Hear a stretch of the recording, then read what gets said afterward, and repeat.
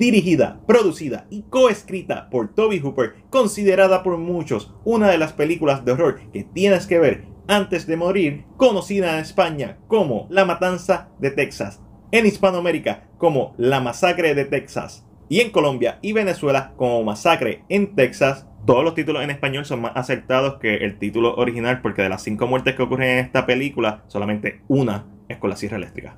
Y es la de Franklin. Esta es la reseña del influyente clásico de 1974 de Texas Chain Separado Sa Massacre. No me gusta esta película, pero gracias Chris por el Steelbook. El Steelbook me gusta. Mayormente no me gusta por el personaje de Franklin. Franklin sucks. Uno de los personajes que más diálogos tiene y siempre se está quejando y siempre está con un lloriqueo, con un quejicus. I freaking hate Franklin. ¿Por qué no puede ser como Mark de Friday the 13 Part 2? Yo quería que Mark me tira mano. Versus con Franklin, yo lo que quiero es que muera. Basada en hechos reales. En realidad esta es una trama ficticia que cogió elementos de Ed Game, mismo que también influenció a Psycho y a The Silent of the Lamb. Es como si llamáramos Psycho una película basada en hechos reales. Pero hizo esto para promocionar el filme y como empieza la película con esta narración, te pone súper en el mood de, diablo, esto pasó. Entonces tiene, empieza con el sonido de la fotografía icónico. Si una película de Texas Chainsaw Massacre no tiene ese sonido, una película de Texas Chainsaw Massacre. Y te da esta introducción y después vemos esta obra de arte macabra en el cementerio. Y estos primeros minutos están en la madre. El problema es que después conocemos a nuestros personajes y ninguno, fuera de Franklin, que es un asco de personaje,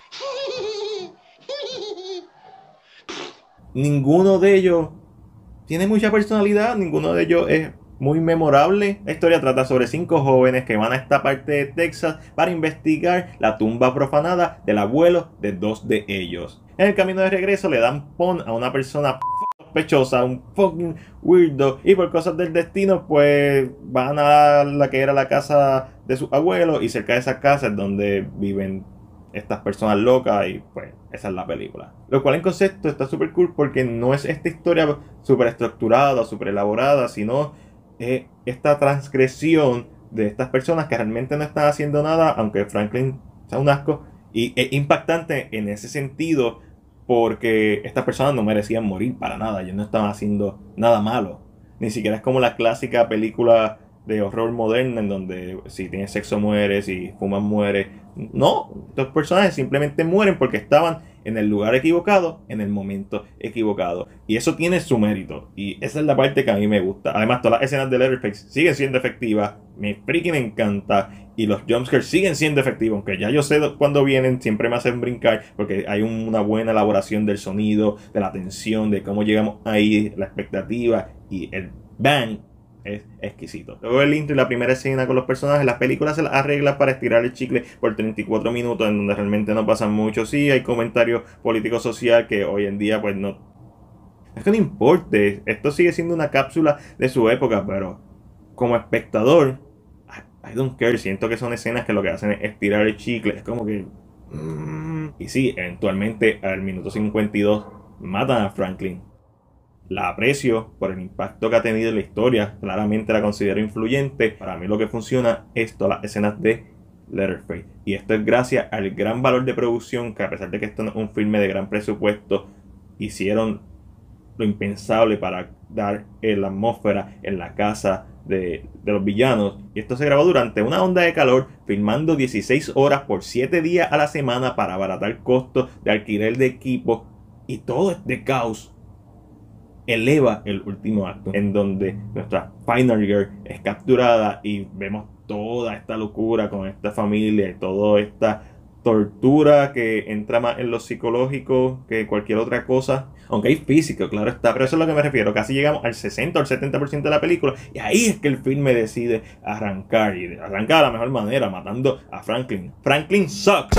Y es tan satisfactorio verlo morir, a pesar de que es la muerte que probablemente menos enseñan pudo ser más gory simplemente para disfrutar más de su deceso. Y una vez eliminamos todo eso, el filme se catapulta con la Final Girl Sally. Y esto es la parte que yo vería una tras otra vez de, de Texas Chainsaw Massacre. Eso tiene un gran impacto, como les dije, todas las escenas de Letterface están en la madre todo el resto de la película hasta que matan a Franklin, lo que a mí no me gusta. Uno ve a los personajes sudando, uno ve toda esta locura de todos los personajes que están en la mesa al final y cuando Sally logra escapar y la están siguiendo y tú ves como los personajes, ¿verdad? Como son, corren más rápido que ella, pues básicamente están mockering, están burlándose de ella. Y cuando sale el camión, ¡yes! A pesar de que no es un filme bien gory, las muertes de esta película están súper bien hechas. Y con un buen gusto. Como les dije, no son super gory, no necesitan serlo. Y en el mejor de los casos, son icónicas. Esta vez que vi la película para hacer esta reseña, es la vez que más me la he disfrutado. Yo prefiero el remake de Platinum Doom, pero cabe aclarar que este filme está dirigido para niños de los 90 como yo. Esta es una película que para mí es bien nostálgica porque fue quizá una de las primeras veces esta ahí de Blair Witch Project en donde la promoción de un filme basado en hechos reales y empieza con estas tomas eh, como si fuera un fan footage, cosa que había hecho esta película en el 74 y otras películas lo habían hecho, pero el impacto que tiene esta película para mí es, es, diferente, simplemente es un poco de nostalgia y apela a mi gusto noventoso. No es que sea mejor, es que a mí me gusta más. Estoy loco por hacer una reseña al remake. Porque sigo odiando a Franklin, Sigo pensando que al menos dos terceras partes de esta película no me gustan, pero el tercer acto es tan excelente que entre lo bueno, lo malo y lo ok, yo le doy a The Texas Shane separado. Sa Massacre una B menos.